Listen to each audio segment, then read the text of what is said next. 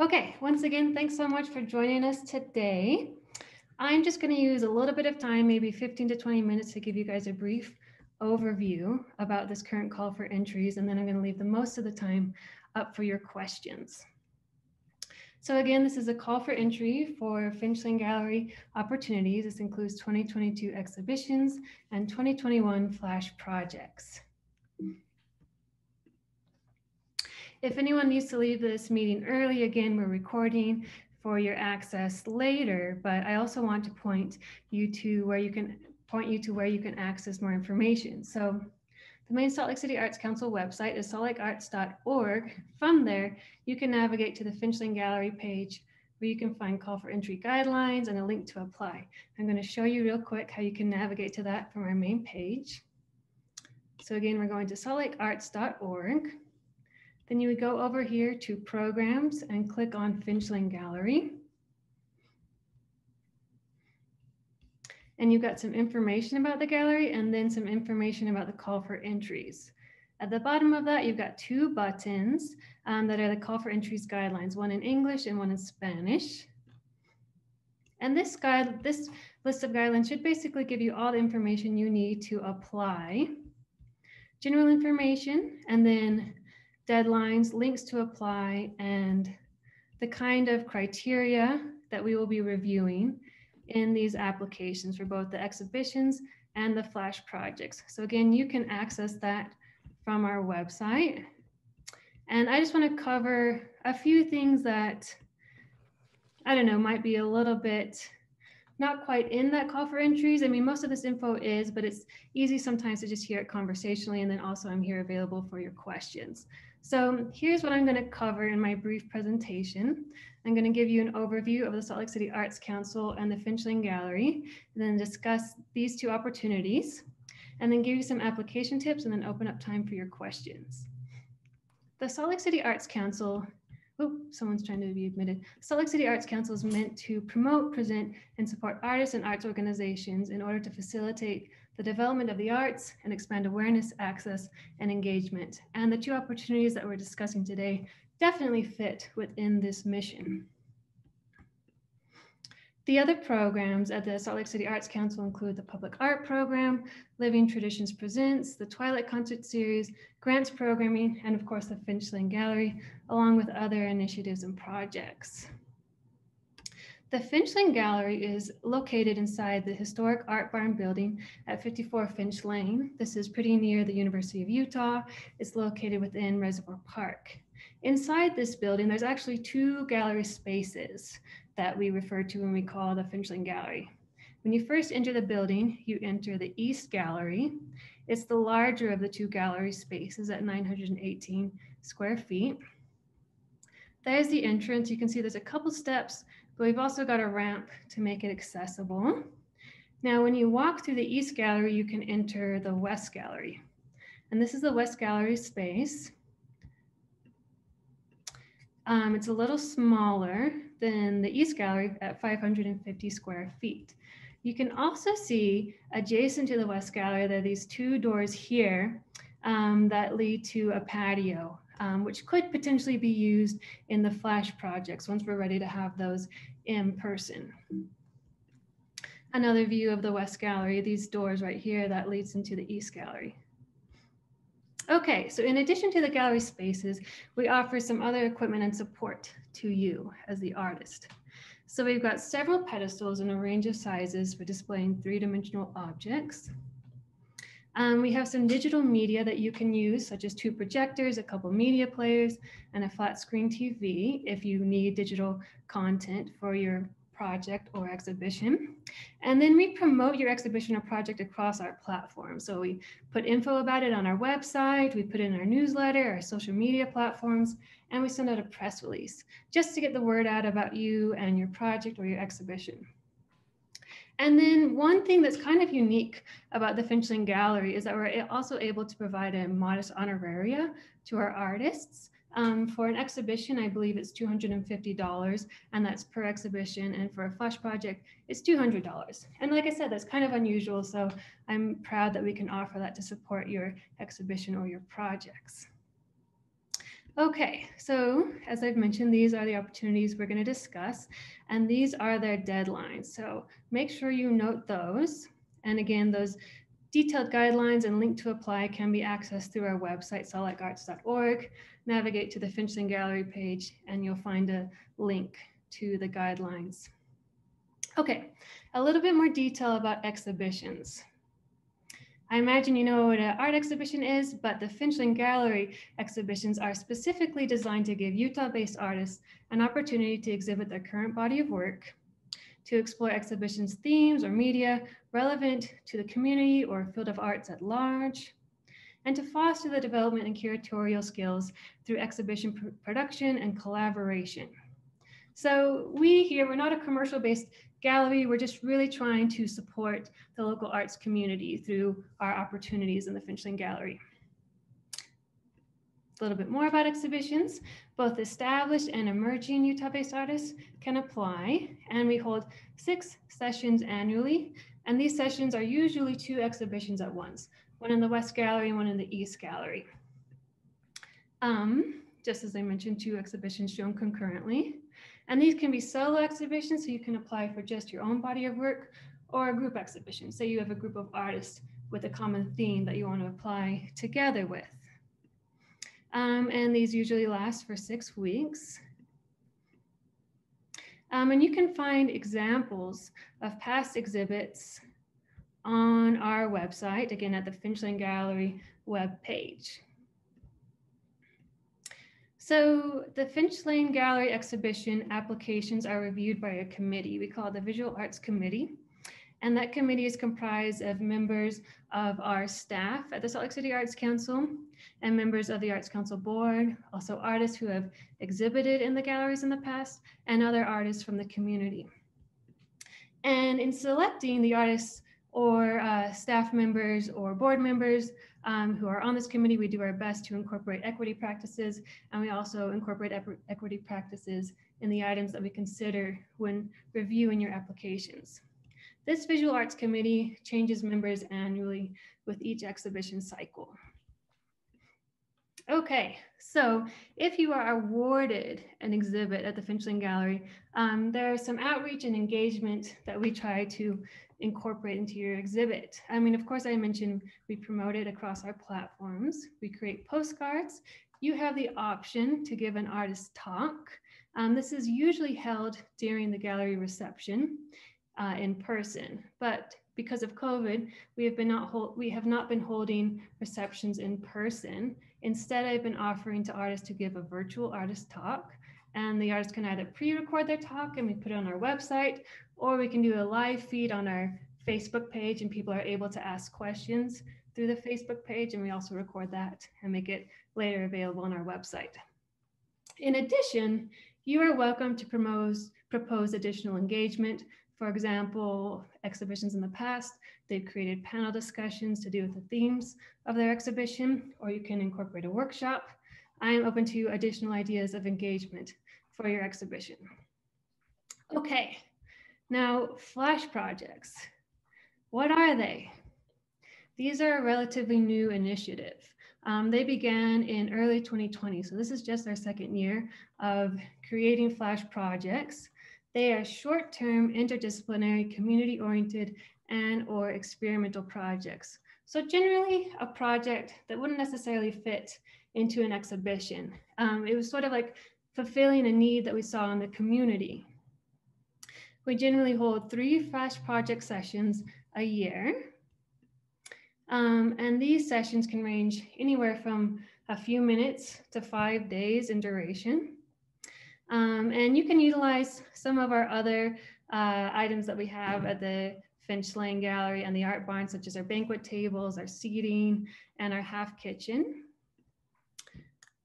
Examples of flash projects include performances, interdisciplinary arts festivals, audio works, fashion shows, literary events, workshops, experimental film screenings, community gatherings, multidisciplinary projects, short-term immersive projects, etc., etc. Basically, projects within the arts humanities that don't necessarily have a space or the resources to perform their project otherwise, and don't necessarily fit into a traditional exhibition. And in a way, because this is such a new initiative, I mean, you guys with your applications, you're kind of telling us the possibilities of Flash projects. So I think it's a really exciting new initiative. Um, we've already had our first session of our Flash project in 2021. So we have two remaining sessions. Now, as you know, things are still fairly uncertain. And so I would like whoever applies for the June session to plan for a COVID safe Flash project. Since our Flash projects began in early 2020, the majority of them have actually occurred during COVID regulations. Our very first one in early March was in person, and that was a performance. Um, but after that, they all occurred largely digitally. But the artists still utilized um, our resources, such as using our space to film talks and then later putting those recordings on our website or creating like digital exhibitions.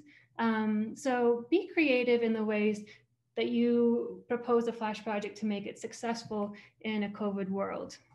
And it's possible we will have the same regulations in September and October, but really, you know, none, of, none of us know. We don't have a crystal ball. General tips and advice for both of these applications. Please pay key att keen attention to the review criteria listed in the call for entries guidelines. And again, those call for entries guidelines can be accessed on our website. You go to saltlakearts.org, go over to the Finch Lane Gallery page and you'll see the button for the call for entries. And it lists under each opportunity the review criteria for that opportunity. I also recommend beginning your application early. I know this sounds like obvious advice, but you don't need to finish it early. I just feel like if you get like the wheels turning, ideas will come to you while you're working on other projects. You can always save and come back to it. I basically just mentioned this once you get started, you don't have to keep on working on it, but ideas generally come to you while you're, you know, working on something, something else. Um, especially for Flash projects, I recommend outlining a plan of action just to make sure your project is feasible. And also so you can demonstrate to us, reviewing your application, that your project is feasible. Please provide clear documentation of your work examples because we also want to know that this is another way to demonstrate that you would be successful in implementing your project. I also recommend asking someone to review your application before you submit it. Elaborate, elaborate, elaborate. I think it's just best to, you know, be clear and spell out your intentions. Like, don't assume that we know what you know, if that makes sense. Like if you make a claim or bring up a theme, please unpack it for your audience. Um, be specific and provide details. If you use jargon, unpack it for us. Um, just ensure anyone could understand your intentions. And this is another good reason to have someone review your application before they submit it. Like present it to them without giving them any background, let them read it, and then ask them to tell you what did you get from that? What do you think my intended project is? What do you think my intended exhibition themes are? And then that would just ensure that anyone who doesn't know you understands where you're coming from. Okay, these are application tips specific to exhibitions. Please be thoughtful in your artist statement. The Utah Divisions of Arts and Museums once provided this link uh, to give advice on writing a successful artist statement, and I thought it was really useful. I utilize it in rewriting my own artist statement.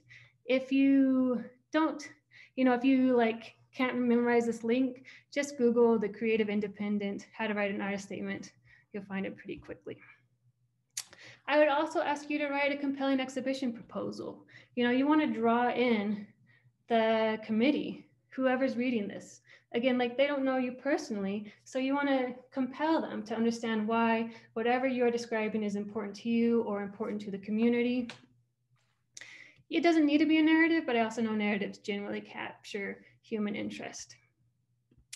Um, of course, take well-lit photos of your work. One tip that I've been given is to get two light sources and make sure they're angles 45 degrees away from the object that you're photographing, just to make sure it's well lit from two directions.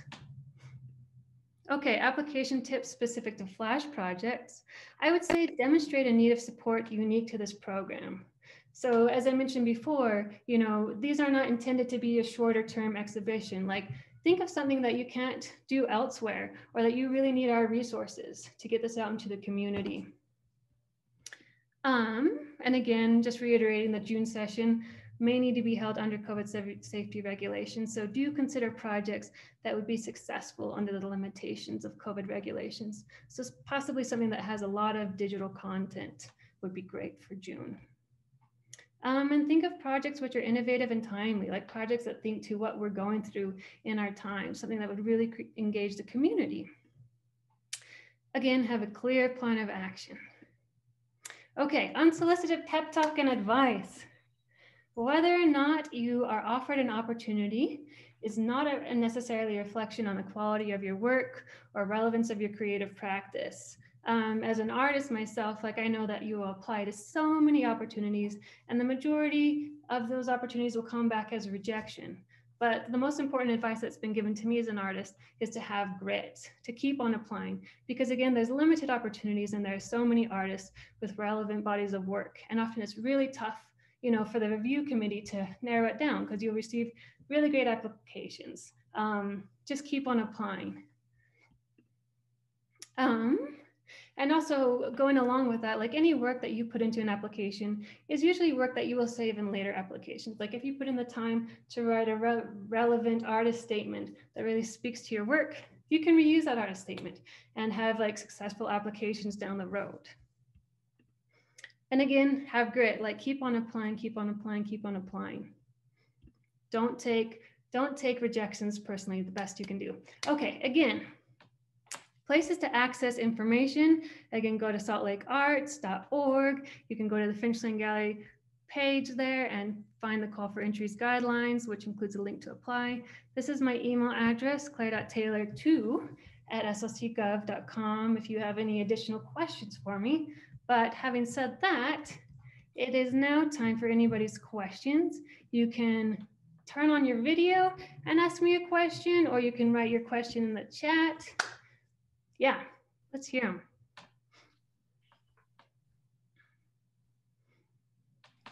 Um, I had a question about um, like how much time is given for like for the actual installation of uh, the group and solo exhibits. Like, is there a limited amount of time between them? That is a great question. Um, so usually we have like a week space of time for installation, give or take. I mean, usually like the Monday before the show opens that Friday, we've got that Monday through that Friday evening to install. Having said that, we have an installer, a professional installer, who does most of the installation work for you, unless you've got an unusual installation um, then we may ask you to do some of the installation yourself. Does that okay. answer that? Yeah. Yeah, that's great. Um, I am worried because I think part of my uh, proposal will be like exit or uh, installation on my part. So yeah, it helps a lot. Perfect. Yeah, and I usually try to like work well with your schedule to make sure we come up with a time that works for you and that you have the time to get your installation done. Like I think our next exhibition, the person will be doing the majority of the installation themselves and that's totally fine. And I've tried to work with her schedule to make it work. We have a message in the chat. Is there a minimum number of pieces of art you consider in a proposal? Um, I wouldn't say that there's a specific minimum number or pieces of art that we would consider. It's more that does it fill the space well? Um, in my experience, with artists is that they tend to like usually worry that they're not going to fill the space and they usually fill the space just fine. Um, and it's okay to have a little bit of breathing room between your art pieces. You just want to make sure that the space feels balanced with your artwork. Does that answer your question? I hope. Um, any other questions?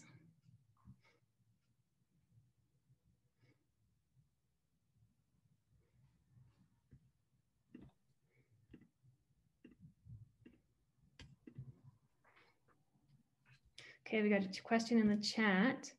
Do you want all the images for the show submitted? No, we don't need all the images for the show submitted. And you will actually notice um, when you go to submit on the submittable page, it will ask you if the image examples that you are submitting, whether or not they are images of the actual work you will be exhibiting, or if they are examples of your past work. So to apply for an exhibit, you do not have to have pre-created all of the work that you're going to exhibit. You could have created zero pieces that you're going to end up exhibiting at the time of application. Um, you can just show like examples of past work that shows us your style and shows us that you are capable of creating the body of work that you're proposing. Just ensure that whatever you're proposing, it's a realistic amount of work that you'll be able to complete in time for the exhibition. Does that answer your question? Um, I've got another question. You have a number of new MFAs attending. Comment on Finch desires regarding showing work just shown at you or elsewhere. So on the exhibition or the call for entries guidelines, you will see that we do request work that hasn't shown in Utah within the past year. Um, if it's like, you know, a couple pieces that I've shown in a group exhibit that is going to be part of your solo show of work. Um, if the majority of work has not shown in Utah in the past year, I think that's fine. Say, for example, it was like a couple pieces that show showed as part of a group MFA, MFA show, and you're showing it as incorporated into a body of work that you have not shown elsewhere. I think that's fine. Any other questions? These are great questions, guys. Thanks for not leaving me here alone without any questions. Um, I had a kind of related one again. Um, during the application, uh, how much like detail do you want us to go into um, for the actual installation of our stuff? Is that going to be used as like instructions for the the installer there? Um, so I, if you are awarded an exhibition, I will get in touch with you for like the details of ins installing your work. So you don't have to put in all the details of how you would install it, unless it's like something that's you know out of this world wild that it would be hard to envision how it's done then maybe give us a little bit of details but i don't think as far as like general installation details that you need to give a lot of details in your exhibition proposal we mostly want to see that it's like something compelling and relevant and meaningful and that you can execute it well um, and that you have you know a relevant interesting uh, well done body of work. And also i should say um, one, one of the things that the committee considers is making sure we have a variety of media presented. Um, so say like we get you know a ton of uh, proposals that have to do with um, the meaning of trees. You know, we might not select all of those, even if they're all great proposals, just to make sure we're presenting a variety of media and a variety of themes. We have another question in the chat. Who are the current members of the committee? I don't think I'm going to make the current members of the committee um, public right now because we're still forming the committee. And also, I don't want to leave them open to be solicited for questions. I think I'll just open myself up for questions, but I can say I will be a member of the committee and the director of the Salt Lake City Arts Council will be a member of the committee. And then in addition to that, it'll be a member from the Arts Council board and some past exhibiting artists and then other artists from the local community. Okay, the application says works that haven't been exhibited in Salt Lake City. You just said Utah, which is correct. Oh my golly, Rob, you have just pointed out some conflicting information. Um, let's go ahead and say works that haven't been exhibited in Salt Lake City within the past year, just to keep it consistent. So if, you, if it has exhibited in Salt Lake City in the past year, maybe not. If it is exhibited elsewhere in Utah in the past year, go ahead and apply. Thanks for pointing that out, Rob. I think I maybe missed a question. How long is any particular exhibit? How do you handle the sale of work? Great questions. So each exhibit is six weeks long, which is kind of unusual for Salt Lake City because most galleries locally exhibit for three weeks long. Um, and how do we handle the sale of work? So the Finch Lane Gallery generally takes a 30% commission of any sales, 70% goes to the artist, and the gallery themselves handles the sale of the artwork versus the artist. We have been toying around recently due to COVID of uh, creating options to purchase artwork on our website. how it's been handled historically is that people would go through our office manager to purchase the artwork. But it's looking likely that we will do it online. But regardless, the Salt Lake Arts Council will handle sales of the artwork. Though along those same lines, um, because we've been opening up sales on our website um, and creating online exhibitions on our website to coincide with our in-person exhibitions, um, we have had some people interested in buying work that are from out of state. And I think going forward, if any work is purchased from out of state, we would have the artist handle shipping. So if you as the artist don't want anyone to purchase your work from out of state, say you want them to be able to pick it up in person, then you can make that designation. You just need to tell me beforehand. We got another question is one disadvantage for having had previous Finch Lane shows in the jury process. So that is something we actually consider, um, whether or not someone has received an opportunity from the Finch Lane Gallery in the past. It doesn't necessarily prevent you from getting another exhibit, but it is considered just to make sure that we are spreading around the opportunities that we have because we have a limited amount of opportunities. But I would still say if you have had an exhibit in the past, go ahead and apply because we have, you know, awarded exhibits to people who have applied again. But again, we do take it into consideration, just to ensure we are spreading around our opportunities to multiple applicants.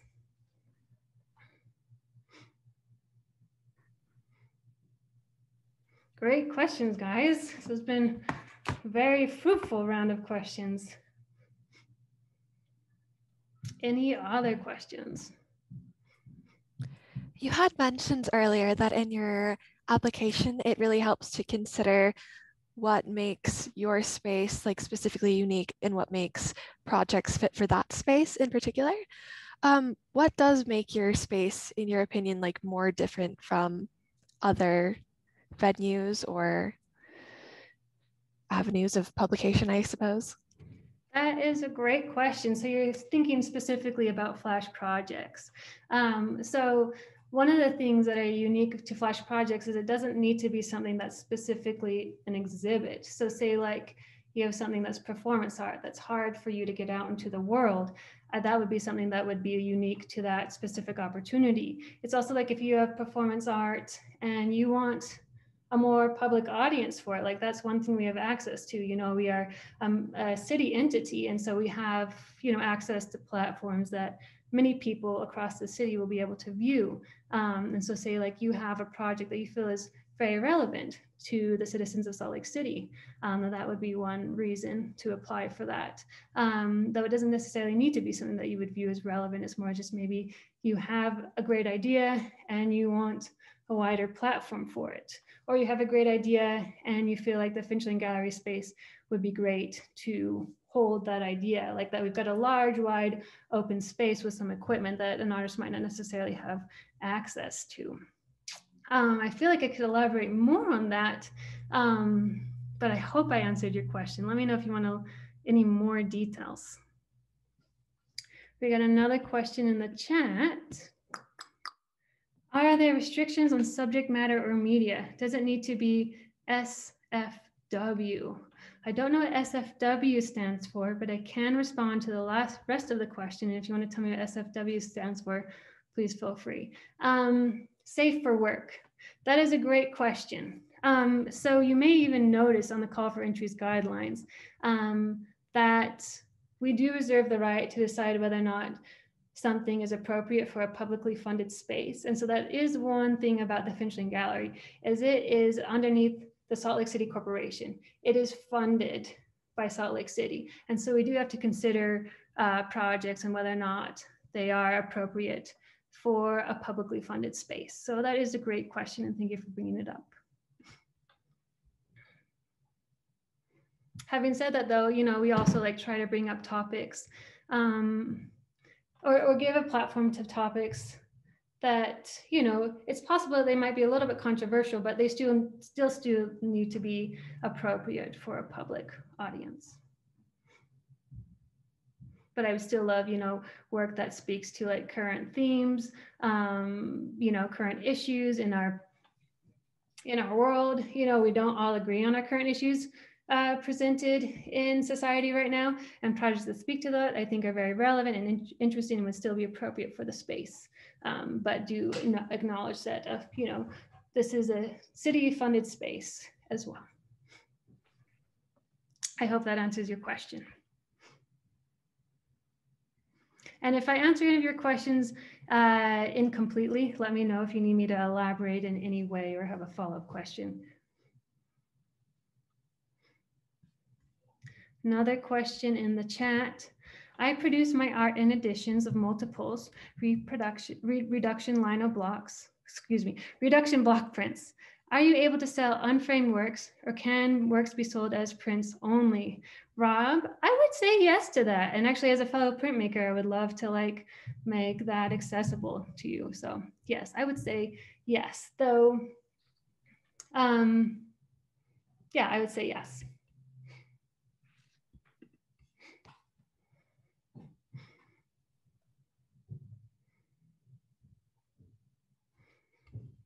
Another question. Oh, uh, thank you. You are welcome. Any other questions?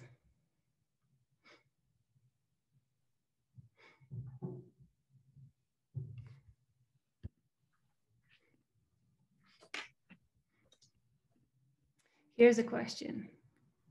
Is an artist's work curated by the gallery? Great question. So in general, um, we usually go with the body of work that the artist proposes, um, but we do reserve the right to make the final selection on the artwork. Um, for the time that I've been with the art, with the Finch Lane Gallery, that has never been an issue. It's always been fine to go with the work that the artist presents.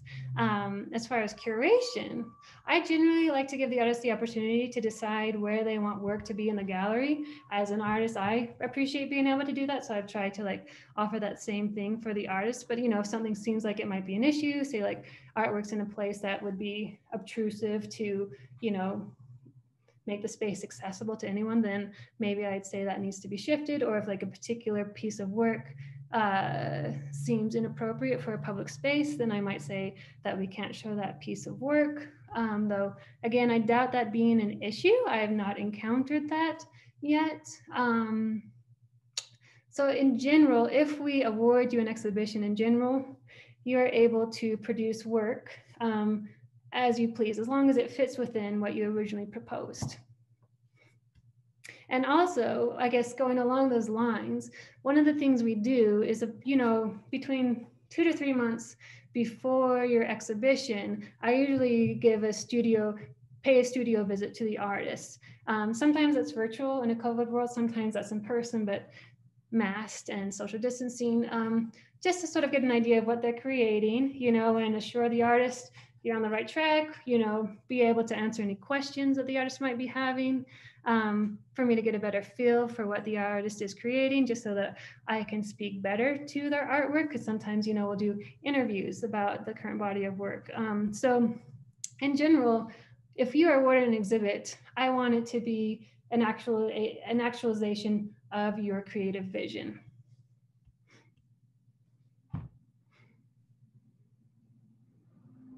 Any other questions? These are like really, really great questions.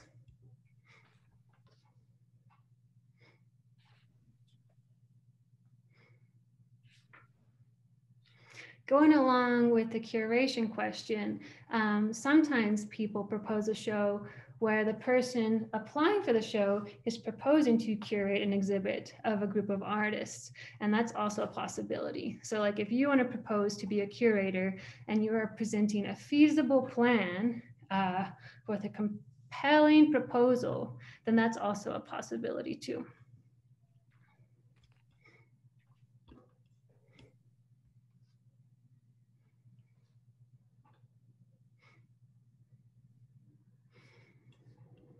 Any other questions?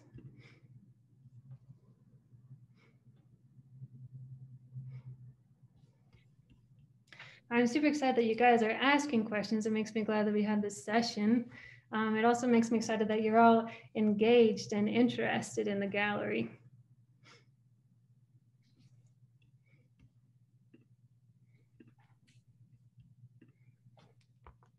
Well, things are pretty quiet. I will hang out a few minutes longer just in case anyone ends up with any questions, um, you're also welcome to email me, claire.taylor2 at slcgov.com. Claire is spelled C L A I R E. One more question, Claire. Yeah. When um, galleries like yours are um, looking at an artist who's proposing new work that isn't made at all yet, um, and you're just looking at their past work, how do you look at that and consider it in relation to like how well you think they can actually achieve future project goals? That's a great question. Um, so we generally look at the quality of work, um, the work examples that they're showing us, um, to, just to make sure that the person is capable of creating the work they're proposing, um, and also capable of creating the quantity of work that they are proposing as well. Does that make sense? Yes, thank you.